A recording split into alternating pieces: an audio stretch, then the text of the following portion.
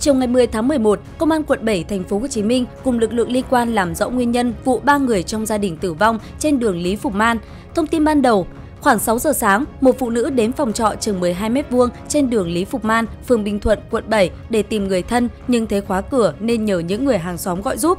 Sau nhiều lần đập cửa nhưng không thấy động tĩnh gì nên người dân phá cửa rồi phát hiện